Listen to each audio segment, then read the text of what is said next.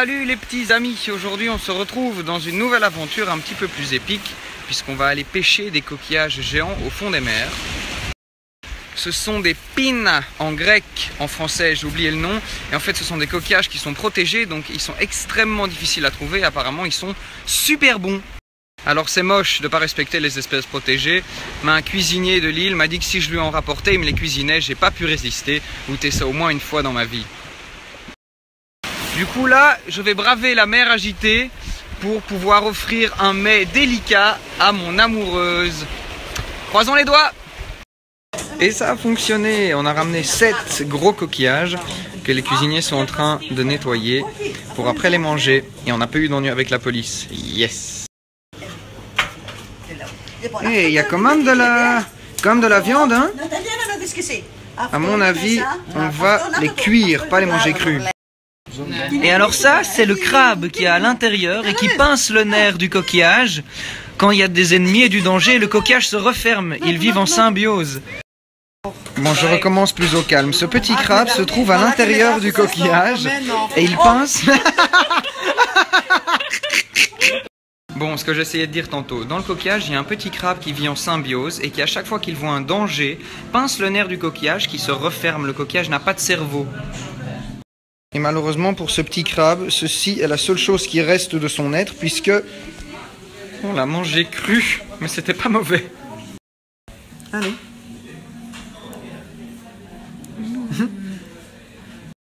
Bienvenue dans Colanta. Ah, alors C'est bon. C'est vraiment bon. Faut juste pas penser. Donc une fois qu'on a nettoyé l'intérieur, on met de l'huile d'olive et du citron et C'est bon Eh bien, c'était très bon. Et à part le manger cru, on peut aussi le faire griller. On va tester ça ce soir. Mais avant, en nettoyant mon équipement, j'ai eu l'idée de faire un... Donc si on récapitule, je suis resté 2 heures sous l'eau, j'ai ramené 7 pins qui faisaient 5 kilos et qui se trouvaient toutes entre 6 et 10 mètres de profondeur grâce à... La super caisse flottante en frigolite euh, fabriquée maison avec une petite corde qui permet de stocker les pinas à la surface de l'eau.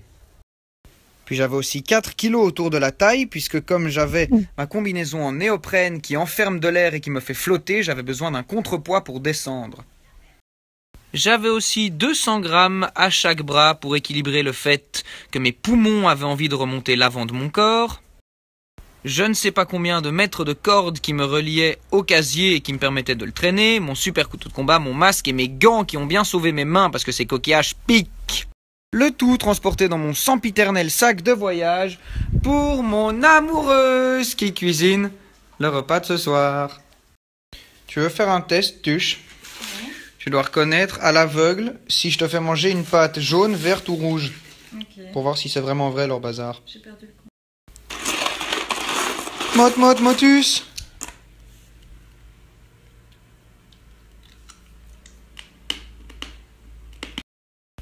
Hmm, je dirais vert.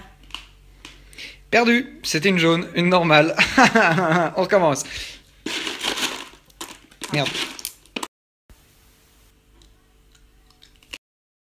Ah là, c'est rouge. Eh ben non, putain. Tu peux goûter la rouge Non, non, non, non. Elles ont un goût différent en tout cas. Et maintenant que je sais quelle couleur est quoi, je j'associe. Donc c'est peut-être pas tout à fait débile. Ok, ok, ok, ok, ok. Et voilà le résultat. On a suivi la recette de Nikos.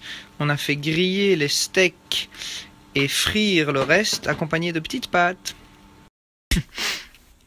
Et là, on surveille de près la cuisson de notre clafoutis au lait de chèvre. Ça donne quoi? C'est bientôt prêt? Dis pas trop. Ouais, c'est tout, tout con. C'est tout con. Il était comment notre clafoutis C'est comme ça. Il était comme ça. Enfin, un nouveau concept. Le concept des bonnes nuits inversées.